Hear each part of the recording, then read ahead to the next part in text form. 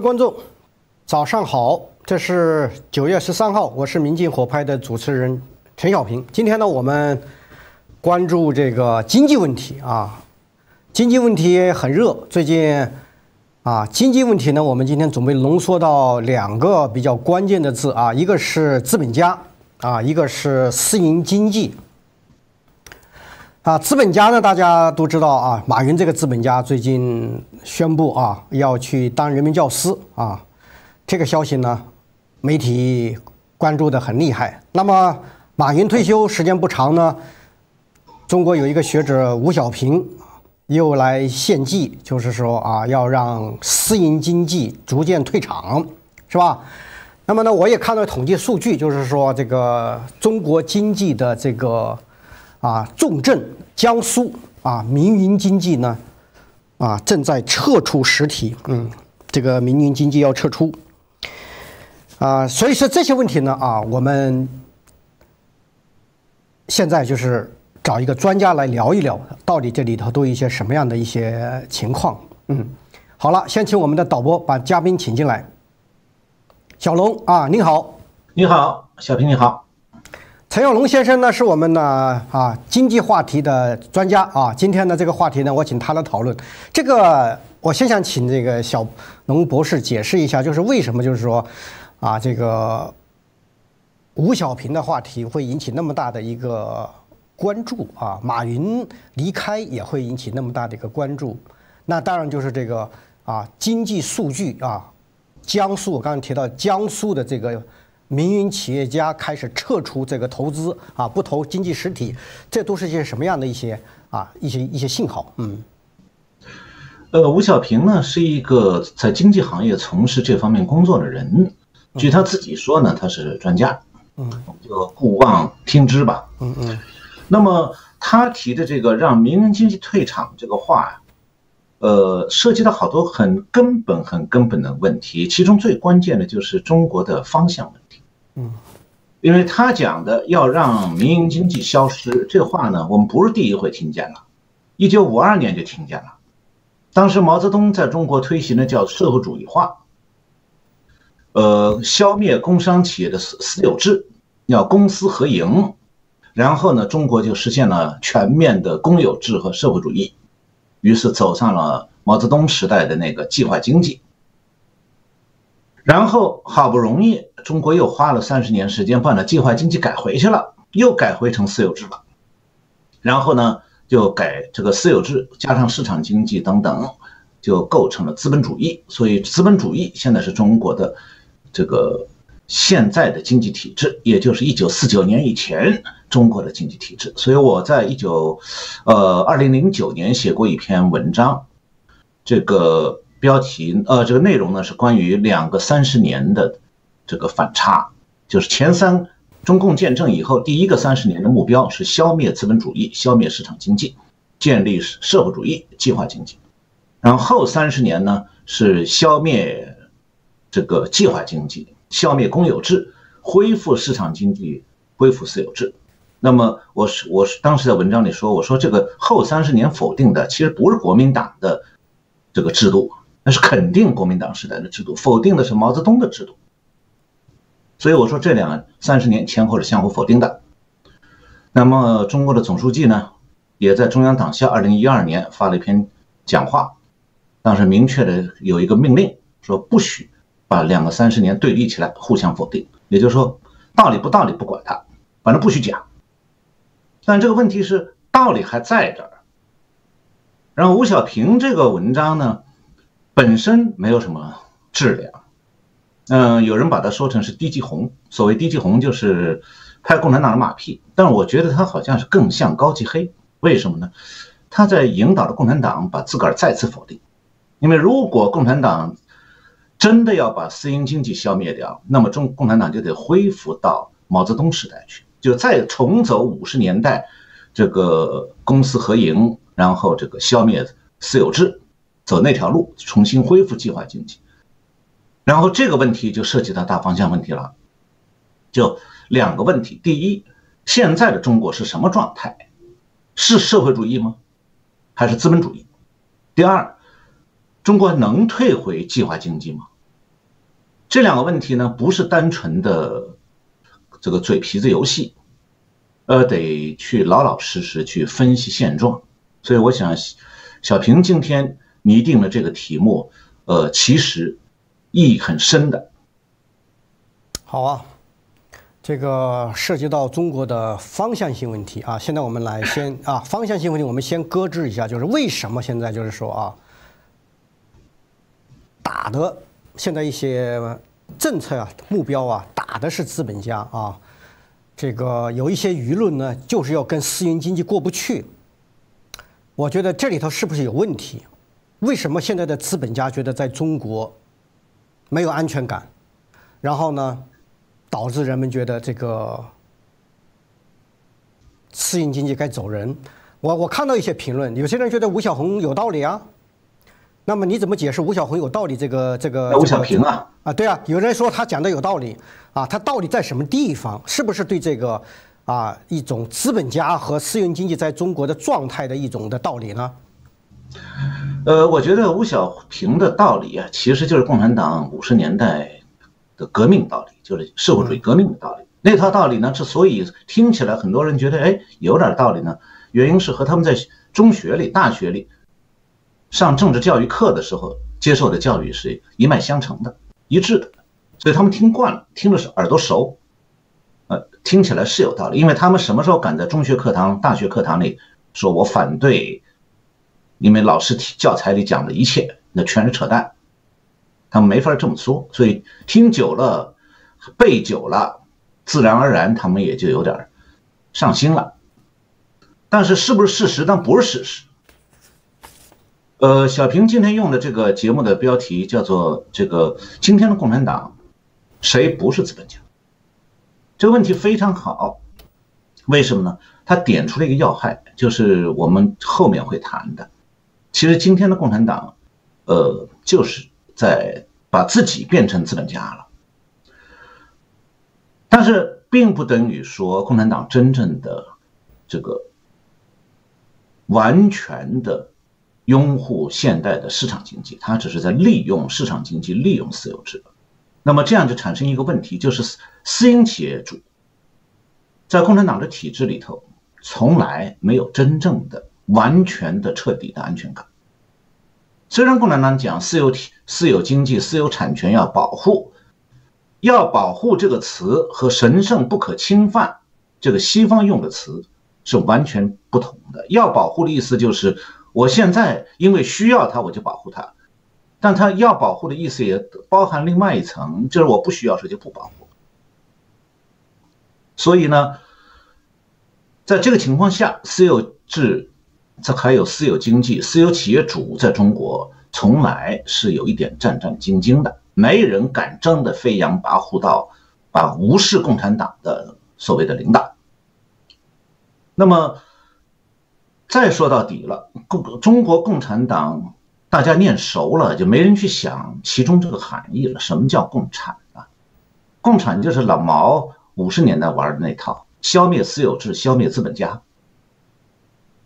也就是说，只要共产党没改名字，没改成民主党，那么它的宗旨、它的党章，还有宪法里头，多多少少都体现了老毛的那套思路。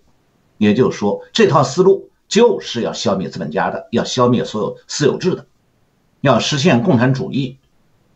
那么这样的话，在这种政治制度下，你要让私营企业家有完全的安全感，那是不可能的。那就把好比把老鼠和猫养在一个笼子里，让老鼠有安全感，那是白日做梦。这个有一个。学者啊，他就提出这么一个观点，就是所谓的私营企业崛起啊，从属子虚乌有，私企在中国一直备受煎熬，或者说只能在夹缝中苟延残喘，啊，那么他这个命题，你觉得是不是跟你刚才说的这套东西是一样的？我觉得这个学者的偷换概念。嗯，所谓的夹缝中生存这个现状呢是事实，但不等于说夹缝中生存就都死完了。嗯，相反。夹缝中生存，导致的是政府扶持的国有经济嗯，和私营经济几乎是同步在增长，而且在整个经济当中，私营经济的比例很大。尤其如果你看就业，嗯，真正在所谓国有企业工作的员工，只占全国就业员工的这个全国雇员的百分之一二十，剩下的在企业工作的人，绝大部分都在私营企业。也就是说，百分之八十的中国今天的就业的人都在替私营企业老板打工。那么再进一步讲，我们后面还会谈到。我现在点一句，就是今天的共产党，他的各级干部多半其实就是资本家，就他们就是很多人打工的老板。所以，当共产党自己变成资本家以后，你让他消灭资本主义、消灭私有制，不等于让他消灭自己吗？其实今天咱们说到底，共产党怕什么？共产党怕共产党。怕真共产党，就是现在当了资本家的共产党，害怕一场真正的要革命、要造反、要消灭私有制、消灭资本家的共产党培养出来的底层的真正的共产党，因为那批共产党要杀的、想灭的，就是今天当了资本家的共产党。这是否有一个悖论啊？就是说。啊，要让马儿这个对共产党对私营经济的这个悖论应该是这样，就要马儿要不吃草，又要马儿跑得快，有点这个意思啊。我觉得比那还还严重点就是他要马儿跑得快，嗯，当然也得给他吃点草，不能让马完全饿着，不然马跑不了。嗯，但他都老，呃，兜里老揣一把刀，心里老想着吃马肉。这马要明白这一点，你说他什么滋味儿？而且那骑马的还天天嚷嚷着，我们的目标是消灭私有制，实现共产主义。也就是说，我们目标是把马全杀了。这个您跟何庆莲女士一块写的那本《中国啊溃而不崩的力量》书里头啊，专门有一章就谈到了这个啊资本家、私营经济和共产党的关系啊。你们用了一个。共产党加资本主义这么一靠一靠一个一个一个结合体来描述啊，这个私营企业家、资本家啊，私营经济跟共产党的关系。那么你们有一个结论，就是共产党不可能让这个资本家来分享权利。那么江泽民不是让修改修改这个这个宪法，让资本家入党了吗？这是不是一种政策上的一种修正呢？毫无疑问是政策上修正，但不是让渡权利。共产党从来就没有把争论的权利交到私营企业。呃，私营企业家手里头，但是呢，现在谈私营企业家，其实这个问题已经很复杂了。就是你别把那个马云，还有这个像刘汉呐、徐明这号的，当做全中国私营企业家的代表，因为即便是徐明，还有其他一些私营企业家，他们也都是干部。你能说全国政协委员不是共产党的干部吗？那是共产党任命的，荣誉性质的这个向党和政府提供政策建议的机构。那很多红二代巴不得能当个全国政协委员你像刘源。所以现在回过头来看，这个前面我提到了，共产党先是用前三十年消灭了资本主义，后三十年又重建资本主义。那么现在是个什么状态？我刚才这个小平提到的，我和何青莲写的那本书。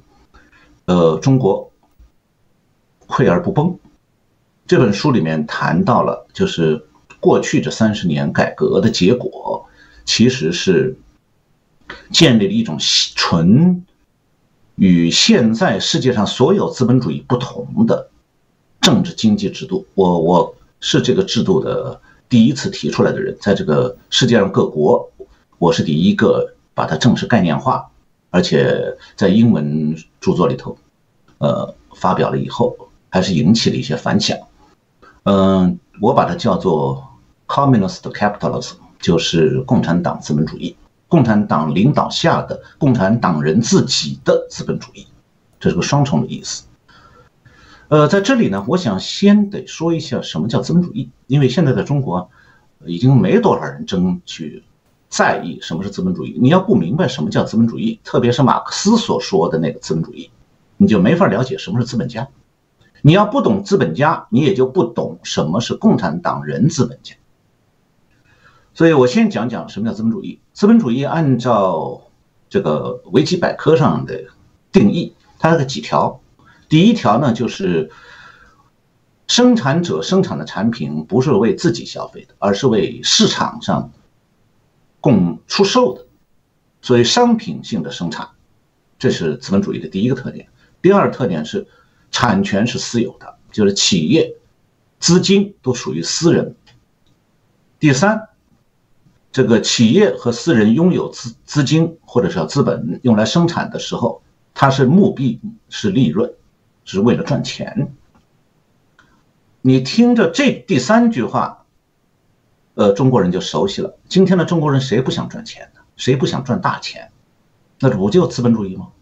所以。今天的中国，你从现状来看，符合资本主义。为什么？第一条，中国现在拼命的在生产商品，不是为了中国自己消费的，中国只能消费其中的一部分。中国不是老政府老说过剩产能吗？过剩产能的含义，其实就是中国有一大部分产品现在是要卖给外国的，也就是说，我生产产品就为了卖的，这是资本主义的第一个要件。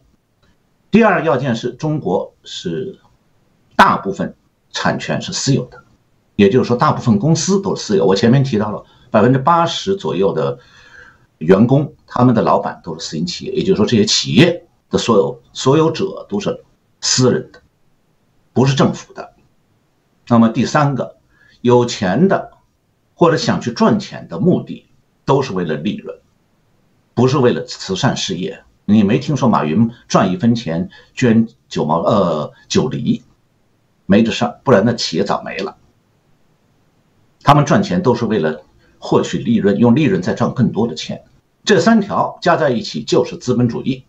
那么资本主义还有一些其他特征，比方讲市场经济啊等等。所以中国一直在讲中国要走市场经济的道路，但是中国不提市场经济就是资本主义，也就是说中国已经恢复资本主义了。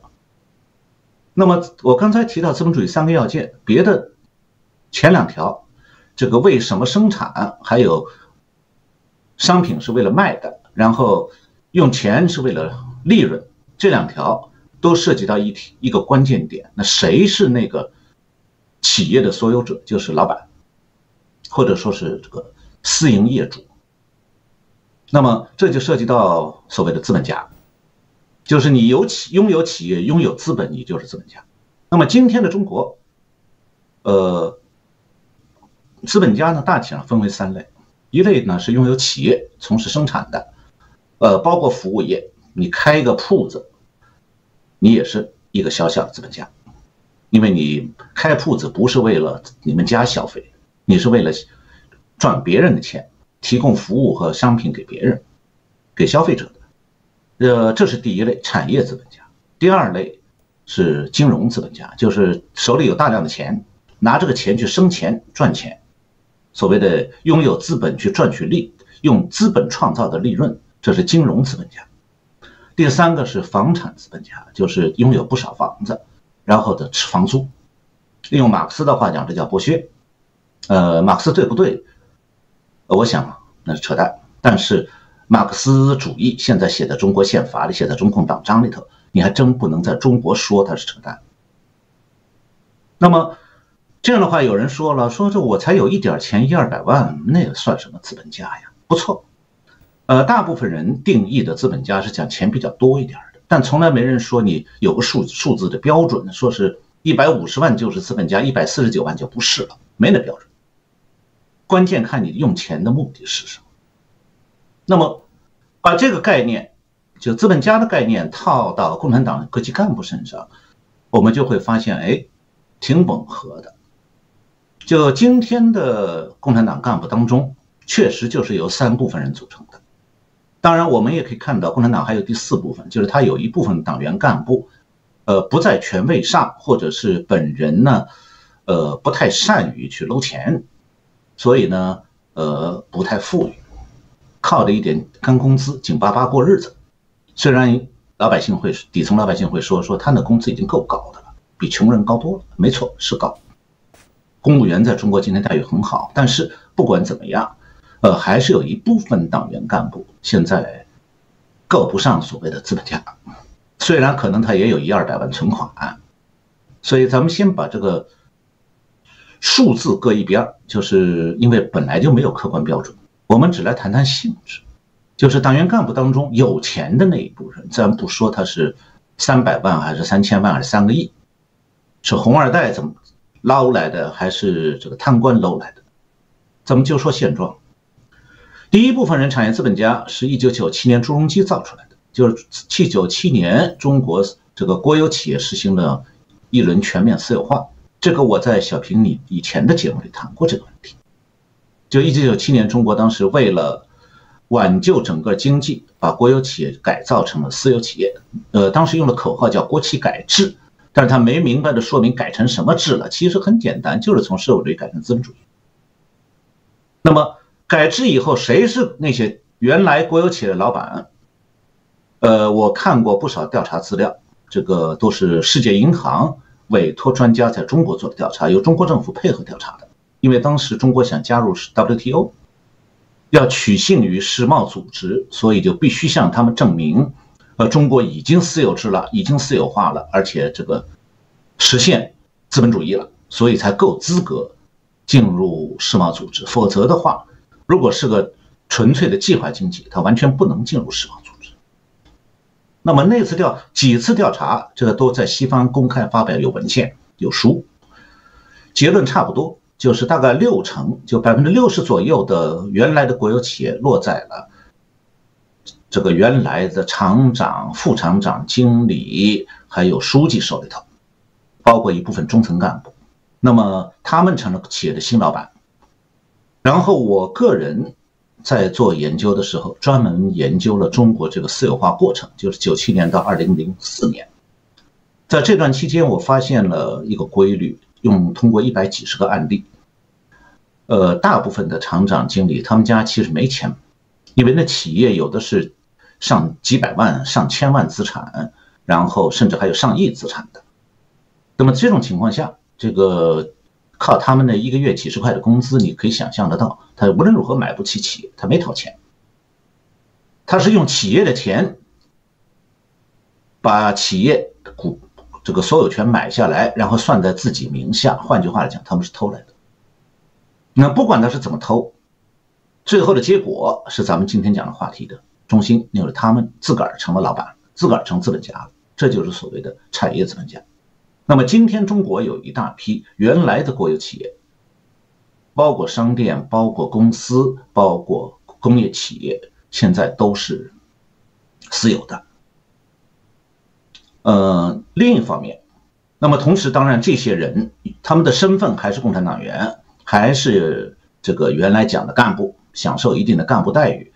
当然，现在此时此刻，他们这些人大部分已经到了退休年龄了，但可能已经传给他儿子了。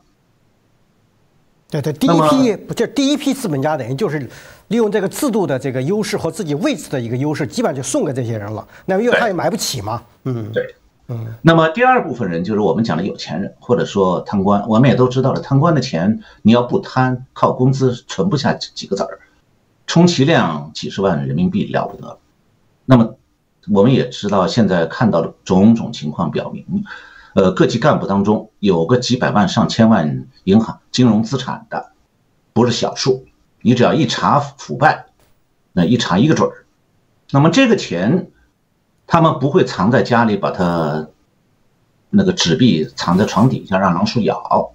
我们都知道，他们多半去买什么理财产品啊、股票啊、债券呐，甚至转移到国外去投资。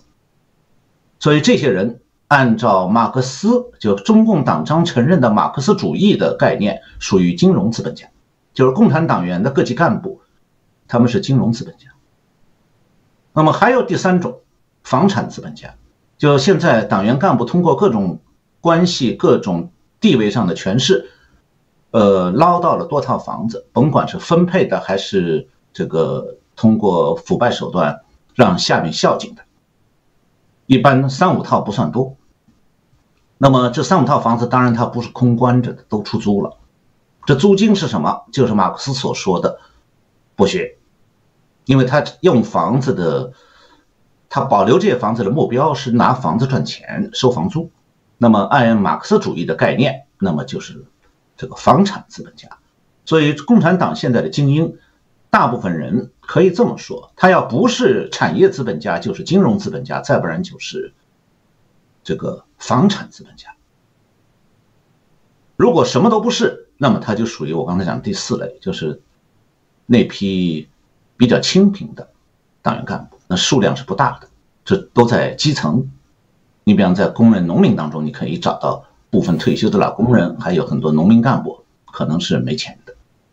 但是，凡是有权有势、有点钱的，多半属于这三类。也就是说，共产党的精英，大部分人现在就是资本家。所以，你要说共产党今天谁不是资本家，你只能在我刚才讲的清贫的底层党员干部当中找。你在中上层，你比方温家宝家里头，呃，李鹏家里，江泽民家里，这个朱镕基家里，有没有资本家？每家都有。而且都不是小资本家，都是大资本家。当总书记、总理们都已经，政治局常委们都已经成资本家，而且资这个资本、金融资本、财产可以通过各种关系转移到第二代的时候，或者全是为第二红二代创造发财的机会的时候，你不能说这个共产党还是马克思讲的那个共产党了，就他不是无产阶级先锋队，人家是资产阶级先锋队。嗯，资产阶级先锋队，对，那现在是不是可以这么理解？我都成了资本家了，那么你们这些资本家啊，你们这些资本家，你像这个王健林啊，你像这个还有谁啊？这个倒霉的一批啊，就是以这些人为代表的一批资本家吧啊啊，那么你们就不用成长了啊，那么啊，你们就不用跟我们来分享权利了，是不是就这样一个意思？所以说导致他们啊成为一个摆设物。嗯，我觉得也不那么简单，不这么简单。红色资本家，我们就把共产党资本家、共产党人资本家通称红色资本家，简单一点。红色资本家是需要白色资本家的。嗯，白色资本家指的是这个没有共产党背景的，出生普通家庭、平民家庭，然后靠各种经商手段慢慢致富的。这个平民家庭出身的所谓白色资本家。他们如果一点红色关系都没有，在中国今天的商场上，他们是混不开的，也没办法发大财。多数人其实都是和红色资本家有某种程度的配合合作，对方给他提红色资本家，并不是自己像贪官那样完全的去捞钱，因为贪官捞钱，呃，像徐才厚那样的，像这个，向下层的军官收钱。来卖官，卖将军的位置，卖军长、司令的位置，这种只是政工干部管组织的，对党员干部有效，对军队干部有效。你在地方上没有那么多位置可以卖，那么大部分受贿从哪儿来？就是从白色资本家手里来。所以我们在中国经常可以看到这样的现象：所谓吃饭买单，老板买单，你看到当官的买单了吗？从来没有过。我以前在咱们这节目里谈过一个故事，以前这个财政部有一个处长，是负责批这个某类项目和资金的，人家有一个爱好，当时北京三财政部旁边三里河有一家高档餐馆，这个都是包厢的，没有大堂，就进去吃饭都是小包间，他特别爱吃那里的鱼翅饭。所以，地方政府的官员想进北京，第一件事就是买单，请他吃一顿鱼翅饭。那么，白色资本家找他也是一样，鱼翅饭。他的老规矩是，来时候不问那饭是谁出的钱，走的时候不打招呼，坐下就吃，吃完就走，跟食堂似的。那鱼翅饭几千块钱一克，我想普通老百姓自己吃不起，也没钱去请这位处长吃。但这个处长吃多少年了？这还是国内媒体报道的。它说明一个现象，就是老板花钱买单，请官员吃饭，这本身呢，在中国叫做腐败。但是它就是经商之道，你不不请客吃饭，你不送礼，不行贿，你就行不通，那官员就卡着你。这一点在商场上，从九十年代到今天，是人人都知道的事所以你要经商。你就得请客吃饭，就得送礼贿赂。那么反过来，这两方面，白色资本家请请客吃饭送礼贿赂，那么红色资本家呢，就是收礼收贿。那么大家所谓的彼此受益。红色资本家很多人就是这么发起来的，是受贿发起来，所以这个反腐败呢，很自然也就把这些人都给压住了，让他们不开心。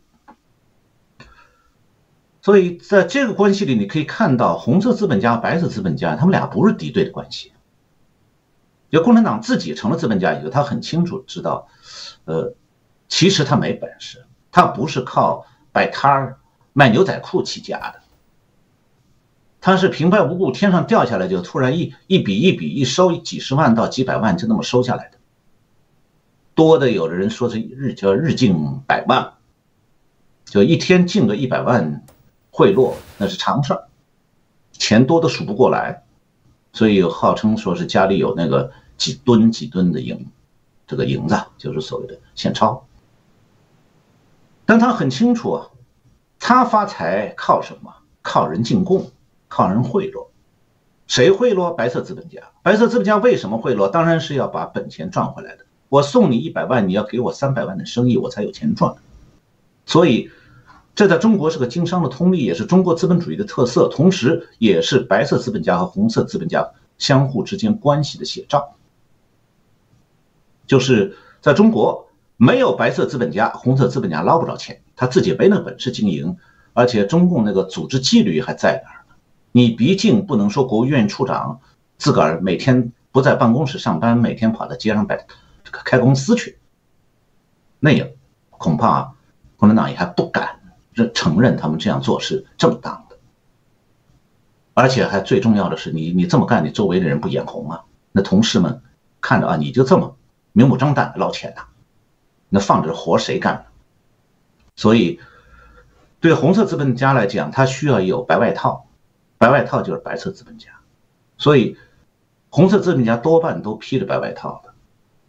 他们有几种情况：第一种呢是靠受贿；第二种是持股。你比方我送你股份，这个在我前面提到的九七年开始的私有化当中，很多国有企业变成私有企业的同时，很多政府官员拿到了股份。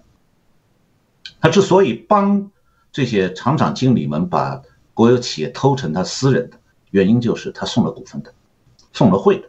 这个贿赂不一定是现金，而是一些不花钱的股份。我看过一些资料，比方有在湖北有一家公司，黄石有一家公司，那送给北京的官员，让为了让公司上市，呃，给他们十块钱一股，然后一转眼这公司批准上市了，股票涨到。三十五十，然后的官员堂而皇之把这个股票卖了，每股赚他四倍五倍，你说这是不是资本家行为？当然是，但同时也是腐败行为。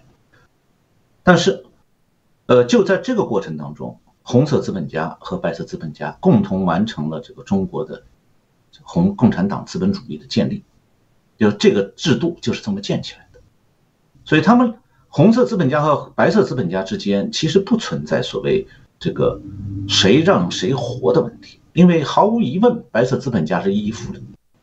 你要论阶层来讲，他对红色资本家是依附阶层。红色资本家最简单的一句话，常说的就是：“这事儿我让你办得成，你就办得成；我让你办不成，你的公司一天也开不下去。”这话实实在在。我们都知道中国那个什么。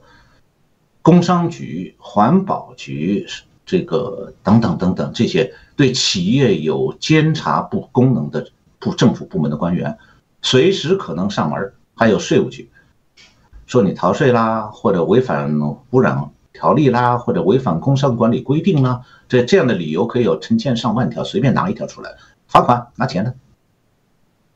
那公司就得乖乖掏钱，那老板白色资本家非掏不可。或者说，哎，那谁谁，我这在某某饭店吃饭呢。这当官的说，你来一下，来买个单。那老板屁颠屁颠跑去了，马上买完单，哎，点个头，哈个腰，让你买单，让你买单是还是给你面子？哎，给面子啊，我这是买下关系了，嗯，留了人情在，以后生意好做，有事儿找他。所以在这种情况下，两个是相互依存的关系。红色资本家离不开白色资本家，但白色资本家更离不开红色资本家。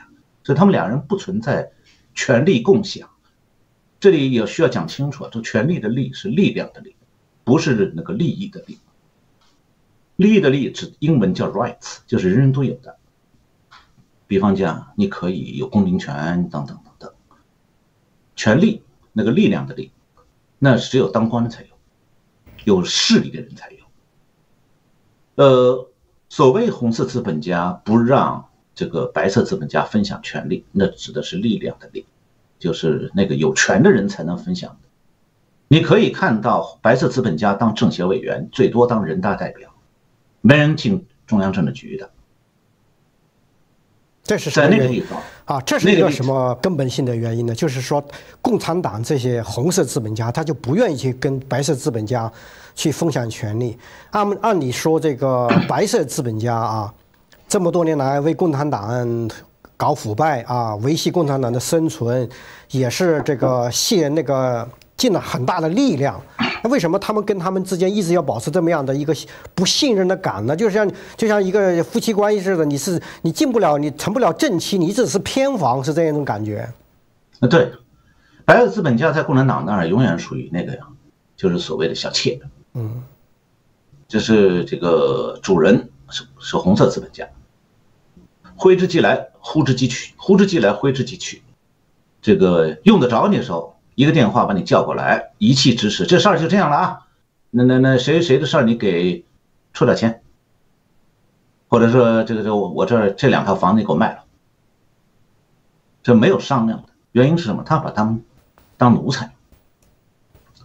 所以这里要说到官文化呢，其实这个共产党文化里头最大的就是一个等级观念，红色阶层、红色权贵阶层始终认为自己是拥有政治特权的。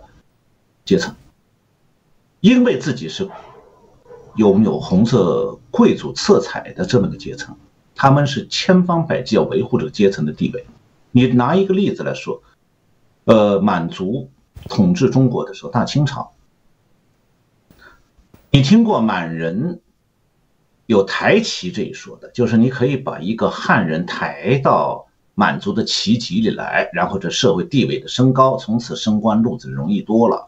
但你没听说过，这个满人有把自个儿降到汉人那儿去的。其实满人后来慢慢的，除了姓氏不同以外，和汉人也没多大区别了，也都说汉话，满语也不会了。但人家没人说我放弃旗籍，只有被皇上把旗籍剥夺夺籍的。为什么？因为满人在当时是个特权阶层，凭着他这个旗籍，他有铁杆庄稼，每年有多少两银子的这个，所以朝廷发的。这个银子，让他们全家生活无忧，不吃不喝，呃，就不干任何事儿，凭这个吃喝不吃不愁。那么，同样的，红色贵族也是有这个特点的，就是他之所以是贵族，就是这个门儿是，就贵族圈的门儿是不开放的，这不不能随便什么人都往里进，不能因为你有钱了你就成为贵族，门儿没有，嗯，所以。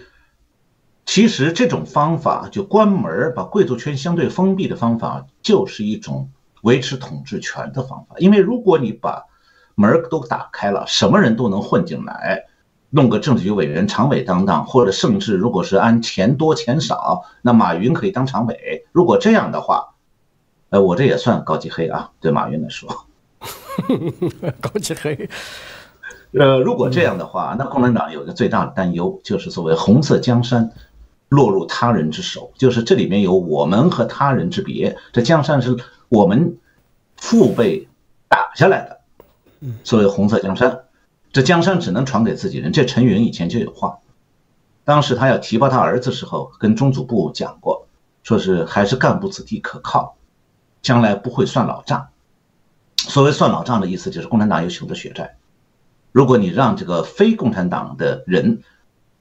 不在共产党这个圈子里头打混多少年熬出来的，而让外人轻易进这个圈子，让他们掌了权，这批人不定将来什么时候生了二星，动了杀机，那就要他们的命。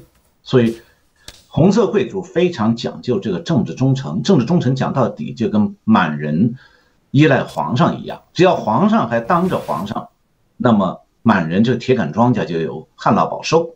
说白了就这么简单。所以说这个私人经济也好，资本家也好，在中国啊处于一个非常尴尬的一个地步，在在红色资本家眼里呢，你就是一个小妾啊，你进不了正房；在老百姓的家里呢，你就是跟贪官沆瀣一气的这个败类。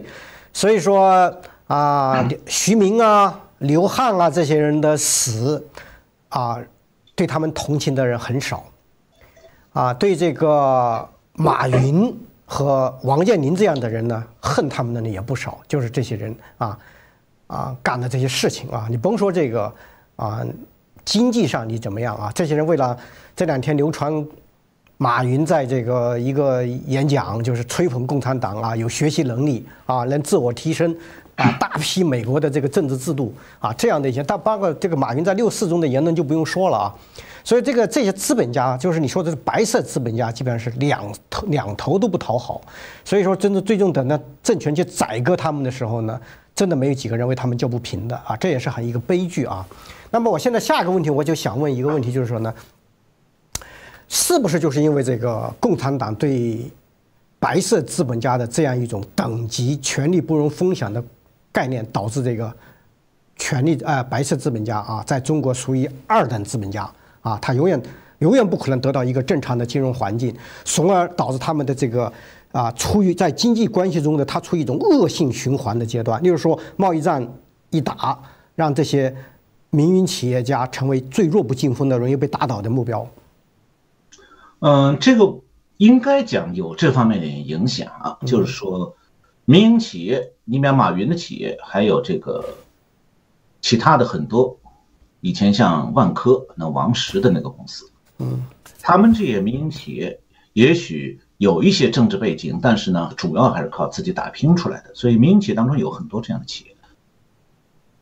呃，贿赂不是他们唯一的手段，你不能说他们都是王石说他自个儿清白不搞贿赂，但是呢，他得靠关系，从他老岳第一个老岳父的关系从那儿出发的。呃，咱们不谈。这些我就谈这样一个问题，就是民营企业家他的钱从哪儿来？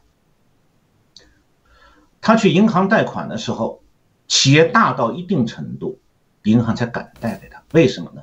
因为这里涉及到个所有制问题。呃，如果是国有企业，你去贷款，那银行一般来讲，尤其是越大越垄断的国有企业，那对银行来讲就是政府担保了。所以不怕你赖账，因为到时候政府会出面帮忙的。呃，私营企业就不一样，私营企业会跑路，这我们也看的太多了。只要经济情况一萧条，大批私营企业倒闭的时候，你听报上看到的、媒体上看到的都是跑路，就是他卷款潜逃，不见。为什么呢？因为私营企业它是只要不是上市公司，它就不是这个面向公众的，就是家族企业。上市公司呢，因为它有大众股东，有政府；如果是国有公司，它有政府股，还有这个大众股东。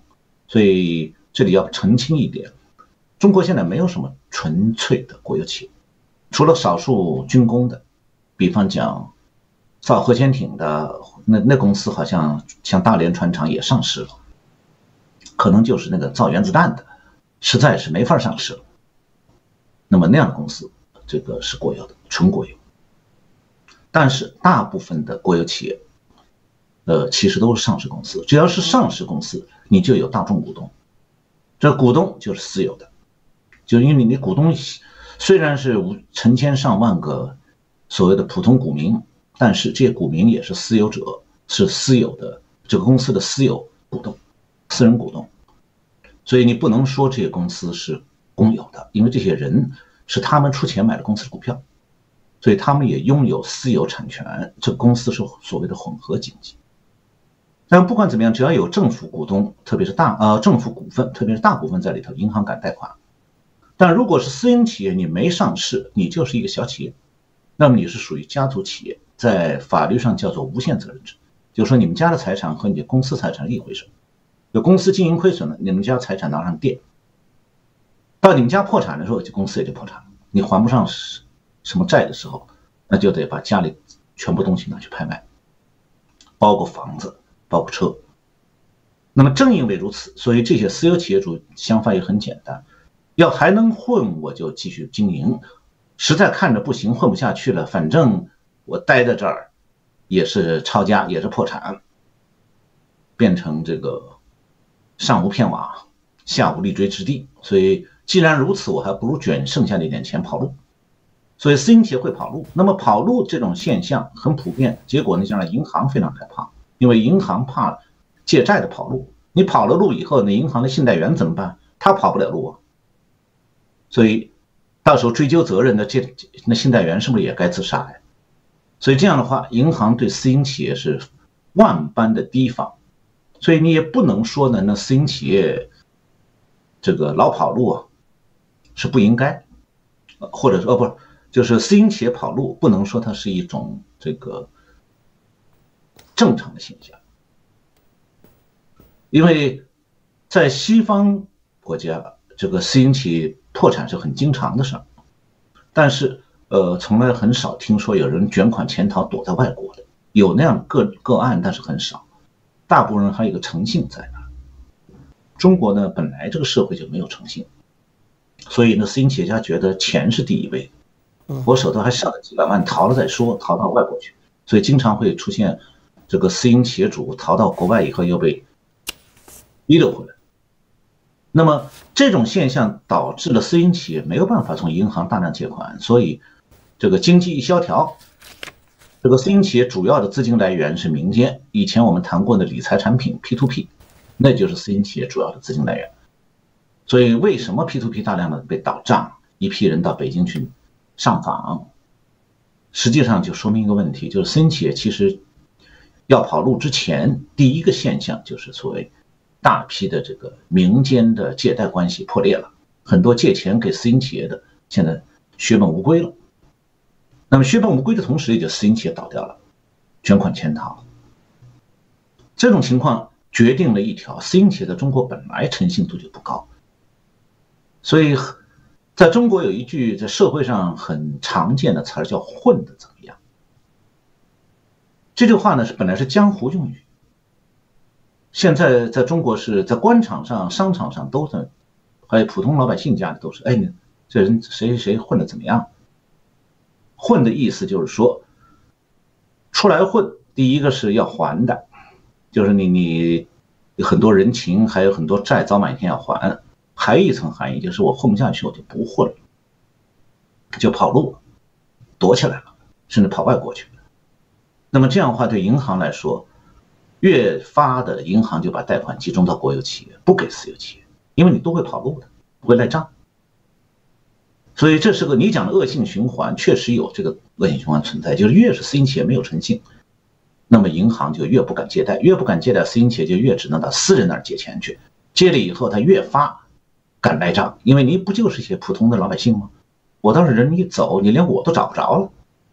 能找着他们的是政府，政府呢不太愿意管这种事儿，这种事儿太多了，而且政府管了费了半天劲儿没好处，就得不到什么利益。所以政府基本上就是堵住了访民的嘴，就是你们倒账了，跑什么省会或者北京去上访，那政府就把他想办法把我们打发走，甚至就抓起来拉倒。那政府呢不会帮着老百姓去找这些倒账的民营企业家或者企业主去讨债去，只有法院呢可能做一点这样的事情，法院做的也不多。刚才你提到这个混合经济啊，这个混合经济呢也是吴小平这个文章中谈到的一个术语，就是你能不能把这个混合经济是个什么东东给大家解释一下？嗯。呃，混合经济两个概念，一个是指所有制，就是公公有的企业和私有企业之间的比例。呃，我刚才前面提到，中国在九七年开始推行私有化以后到现在，其实百分之九十五的甚至百分之九十八的企业基本上都是混合经济。所谓混合经济，就是只要你的企业上市，在中国稍微大一点的企业都想上市，你只要上的市，你企业里就有私有股东，所以你就是混合经济了。那么反过来就是说，中国现在其实全是混合经济。怎么说呢？就上市的公司，甭管国有股份占多少，它是混合经济。那么不上市的剩下公司，绝大部分都是私营企业、私人老板。所以，无论是从整个经济的国有和私有的比例，还是从这个是国有企业上市公司里面有私人股份，这两个角度来讲，中国现在早就是混合经济了。那么混合经济和前面小平问到的计划经济有关系，就混合经济的存在本身决定了计划经济无法存在。所以吴我说吴小平那个献计啊，实际上是个低级黑。当然也有人把它说成，呃，不是个低级红啊，就是这个很拙劣的拍马屁。当然也有人把它说成高级黑，就是想黑着共产党去把自个儿毁了。我觉得吴小平没那水平，也没那胆量。为什么这么说？就是前面谈到共产党现在能稳定统治，目前这个状态维持着这么多年，一个很重要的关键就是它实现了资本主义，是用资本主义的力量来维持共产党统治。那么反过来。如果共产党把资本主义灭掉了，回到计划经济会是什么结果？其实，一九八九年有过一次这样的例子，就是六四以后，江泽民执行了陈云他们还有邓丽群这些左派的路线，开始打压私营经济。当时有一句话叫“宁要社会主义的草，不要资本主义的苗”，这是文革时期四人帮用的话，当时也出来了。那么。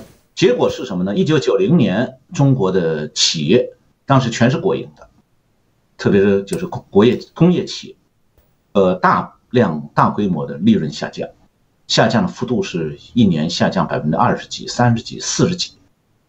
下降的结果呢，就是企业的亏损面，就是亏损企业占所有工业企业的比例降提高到了百分之十几、二十、三十这个幅度。后来到。九十年代中期，中国开始私有化之前，已经达到这种程度，就是国有企业全面资不抵债。就银当时朱镕基之所以被迫搞私有化，原因就是再拖下去，银行就垮了，就共产党就没法维持了。这是他当时选私有化原因，其实也是邓小平一九九二年南巡的原因。正因为经济不行了，计划经济那一套，在中国已经改革的那个状态下，回不去了。虽然陈云很顽固地相信计划经济好，要走那条路，但是现实证明回不去了。当时一九九零年，姚依林就陈云的一个大将，当时的副总理、政治局常委，专门到上海的工业企业，特别是纺织企业去看，他想知道说这纺织企业几十年来都是计划经济的支柱，为什么现在就搞不好？结果去了以后发现，除了找他要钱的，什么门道也没有。那那个企业就是经营不好。那么这种情况下，最后邓小平南巡就有了理由，就是你看，你陈云试了两年了，八九年到九一年，把经济越搞越坏。这种情况下，陈云只好扁扁嘴不说话。然后邓小平南巡说了以后，整个风气扭过来，江泽民也跟着转弯儿，然后中国又所谓再度的南巡春风，就走就堂而皇之走上资本主义道路。中国走上资本主义道路不是自觉的，而是被迫的。就是他试了又试，计划经济就是行不通，因为计划经济要靠两个东西：第一，不许有私有制。为什么呢？你都是私有的，我政府怎么给你下命令？计划经济的核心是两条：第一，中央集权计划这个经济，就是中央用命令来替代经济管理的市场规则，就是你不是按供求，就我说了算，我要你生产什么什么，成本如何我不管。要不惜一切代价按照命令完成计划，所以当时中共有一个做法叫做会战。会战什么意思呢？就是把各方面的企业调在一起，然后一声令下，给我干，达到什么目标？至于成本如何，亏损不亏损不管，亏损国家兜着，达到目标就行。所以计划经济第一是要有这个对任何企业说一不二的权利，第二。他对任何企业也全部兜下来，最后才是个所谓的国民经济计划，就是政府用一套这个管各行各业的、管老百姓这个吃喝拉撒睡的计划，把全部经济活动控制起来，一切由政府负责，你个人不许有任何选择。那时候中国不是都得有布票吗？然后买买米要粮票，这个上馆子吃饭也要粮票，原因就是什么都得政府管起来，这样才能够行使。计划经济，那么实际上改革以后呢，这套就完了。我刚才前面讲了半天，谈到现在中国整个是混合经济，特别是私有企业占整个企业总数的大头，百分之八九十是私有企业，因为大的国有企业很就是实际上也是混合经济，呃，它多半是在垄断行业，从产值或者是从利润来讲，可能数量比较大，但实际上企业个数也就是几千个而已，剩下的企业几十万个、上百万个企业多半是私有的，所以。如果要想把这个计划经济像吴小平那样讲的重新建立起来，其实共产党也不是没做过。一九五零年毛泽东干过，那就咱们再找一个毛泽东出来，重新搞一次共产党革命，呃，把资本家全部消灭了。那么这样的话，就得把共产党的各级干部，包括政治局委员、常委都消灭了，这样才能够真正实现公有制，然后消灭资本主义，消灭私有制，重建计划经济。可能吗？不可能，因为在那个之前，这个政权先因为经济不好太完了。也就是说，你在一个私有经济和这个是这个混合经济占整个经济百分之九十几的情况下，呃，要消灭这套经济基础，就是消灭经济。消灭经济哪里还有政治权利？所以共产党不会笨到相信吴小平那句话。所以我说说他高级黑啊，是高估了吴小平。嗯，但是这个我刚开刚开场的时候，我就问过，就有一部分人觉得吴小平啊说的有道理。那什么道理呢？我我理解是这样，我想问你这个问题，就是说，现在中国的这个有一种政策性的倾向，或者一种方向性的一种倾向，就是国退的民进，国退民进是吧？那么。吴小平也许是看到了这种国啊国进民退的这样一种取向，他就他才认为啊私营经济应该退逐渐退出去。那么这个东西是，我觉得这是他的道理所在。那么从现在来看呢，我正好看到广东啊、江苏啊、浙江啊这主主要这几个中国经济龙头地区的一些啊呃这个老盲啊老盲老盲的文章，他就反映就是说这些地方呢就是民企在啊。国进民退的同时呢，民进民企在大量的萎缩，啊，这个是不是也因为就是说国进民退的国进啊民退的道理，导致这个现在出现这样一个情况？这才是吴小平的文章的道理所在，是在这儿，是不是这意思？呃，我说他是地级黑呀，嗯，其实就是从这个角度出发看的，嗯，为什么说地级黑呢？就是说他拍马屁啊，根本就拍的在马蹄子上。呃，他不了解的一个现实，或者只看皮毛，那就是国进民退呀，并不是政府要下政策宣布要消灭私有制、消灭私营企业主，要重新共产革命，就恢复共产党的本色。共产党没这么说，正好相反。你可以看到共产党最近，就最近一段时间还有连有一系列的文件啊什么的，比方讲，我看到，嗯。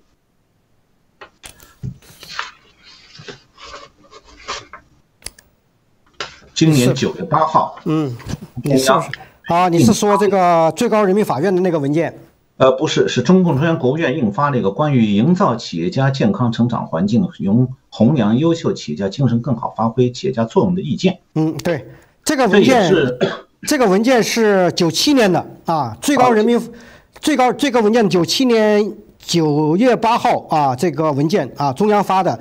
哎，九月八号是最高人民法院啊，重新转发这个文件。对，哦，转发，嗯，转发，对。那个就是你从公开宣布的政策上来讲，共产党并没有要消灭私有企业，也没有要消灭私有企业家。我刚才前面谈到了，那共产党各级干部很多人自个儿就是资本家嘛，谁消灭谁呀？嗯，所以从这个角度来讲。这个国退民进是事实，共产党没有要消灭企业家的这个正式的政策也是事实。那么为什么仍然出现了国退民进的结果？我想原因就在于它的基本的制度环境，主要的银行贷款是提供给国有这个国有股份占大多数的那些所谓的国有企业。更重要的是，国有企业它不是处在市场竞争状态的，很多企业是在垄断状态的。比方讲，中国讲的两桶油，中石油、中石中石化，还有这个联通，各家大航空公司、铁路公司，还有其他的各种垄断性行业。他们根本就不受市场压力，没人跟他竞争。那市场好和坏，他都照样赚钱。这个你像现在中国这个很多的垄断性行业涨价涨得很厉害，原因就是因为它是垄断的，没有竞争。所以很自然的，他要要他觉得成本上升，我要涨就涨了，政府一定批准他。今天还看见那个荣建先生在推特上说，油价越国际油价越便宜，中国的油价越贵，越高，没错，这这种情况，这就是个例子。嗯，那么民营企业呢就没有这个条件了，因为民营企业你不可能获得垄断的机会。你没听说中国政府把哪个军工企业卖给民营企业，说那咱们原子弹或者导弹就交给你一个马云造了。政府不敢也不干，那么这种情况下，民营企业能从事的全是竞争性行业。竞争性行业最大的因素就是，你得按市场供求来经营，产品卖不掉你就倒闭。那么现在中国真正的问题，国进民退是一种结果。这个结果的含义就是说，由于民营企业在市场环境中经营，而民营企企业经营的这个市场环境情况越来越糟，使很多民营企业活不下去了。倒了，那么结果呢？就是导致江苏、浙江、广东很多民营企业、外资企业或者撤走了，这些私营企业关闭或者是停产或者减产，导致了民营企业在整个经济中的比重逐渐下降。那么它下降的，国营企业的垄断的行业的比重不降，那么就一个降一个不降，结果就变成了国进民退。就是国营企业比重反而上升了，上升不是因为国营企业的经营良好，而是因为民营企业经营不良，民营企业越来越多的失败，这种情况今后还会继续发生。也就是说，今后中国的国进民退可能会继续下去。那么，正是在这种情况下，也许中国政府反而会更多的提出来要保护民营企业家，因为他知道很清楚，那对就业来讲是关键的。垄断性国有这个国有企业，他们雇佣的员工只是少数，大部分员工是靠私营企业来就业的。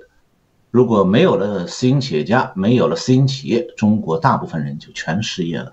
当中国失业率如果高到百分之三十四十的时候，中国经济就不可能再有希望了。这个您对国企民情的国就是国进民退的解释是啊，国企的比率不降啊，民企的萎缩呢死掉以后，它就慢慢就减少了，是不是还有另外一个意思，就是共产党想利用国企把民 把民企吃掉一部分？呃，存在这种意图，就是前两年开始政府提出来所谓的混合所有制，这个提法本身就很混很糊涂。我刚才提到，按所有制来讲，现在的国企全都是混合所有制。本来就是了，那么为什么在混合的基础上还要混合？其实政府是希望两条：第一是希望吸收一点民企经验，就让政府那些国有企业的那个官员老板们，呃，稍微学着点儿民营企业家那个灵活经营的状态。更主要的是希望能够让民营企业的资本注入国有企业，或说句话讲，是让私营企业出输血。来救那些个缺钱的国有企业，嗯，但这个东西呢，好像两两三年前这些民营企业家都明白着呢，都说了话了。我宁肯国外投资，我也不会输血的。这是王健林说的，这个我脑子里有水啊，我这么干了，我才不干呢。对，嗯，因为他输再多的血，他在国有企业里说话也不算。那那输血呢，就属于肉包子打狗。这个国营企业，你把民营资本资本家引那个资本引进来之后呢，第一个啊，国营企业要绝对控股或者相对控股。第二呢，还有一个共产党领导在后头呢。所以说，这个王健林这么出名的人，他才不会进来。是这这问题在这儿。嗯，对，这就好比说，这个汉人在大清朝被抬旗抬进了满人那个圈里，说正进了镶黄旗了，这是皇上的数的那个旗，这算抬旗了。身份高了吧？可你在满人当中，你就是个汉人。嗯，抬进来了还是汉人，是抬旗的，那就是个，等于是个艺术，在里面是神气不起来的。到了满人面前又是第三辈儿。好啊，今天这个话题呢，我们就谈到这啊。这是一个，啊，今天这个话题呢，开场的时候呢，陈小龙先生就说了啊，这个。吴小红啊，吴小平先生提出的问题呢，啊，涉及到中国的一个方向性的问题啊，就是这是说明中国现在在什么一个状态，将来要往什么地方去的问题啊。这个问题呢，到底是中国要消灭这个市场经济，还是这个 计划经济的问题？陈小龙先生说，这个东西好像不存在，以现在的这个。中国的政治经济关系啊，以及共产党内啊三种资本家，它怎么分呢？产业资本家、金融资本家加上房产资本家这种东西呢？共产党和资本家已经融为一体了，因此呢，消灭这个资本家和消灭私有经济的都都这个话题基本都不成立，我是这么理解的啊。另外一个呢，在谈到这个国进民退的问题的时候呢，我觉得陈小龙先生有两点比较有意思。第一个就是说，在这指的是什么？第一个就是说啊。国企的比例在中国经济中的比例，它一直保保持现状，它没有下降啊，这是一个。另外一个呢，民企在激烈的市场竞争之中，有的已经消失了啊，那么呢，它已经没有了。这样的话，民企的比例在下降啊，这是国企啊国进民退的第一个意思。那么第二个意思呢，就是共产党希望有一部分民企去为国企输血啊，那么呢？这个事情，王健林先生说了，这个事情我不能干啊，这是脑子进水啊，这是啊国进民退的两重意思啊。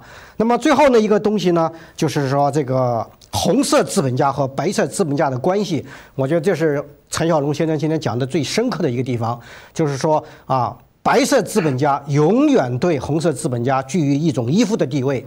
啊，红色资本家对白色资本家维系着一种等级优先高等的一种地位，这样呢，白色资本家和红色资本家的关系永远不可能改善。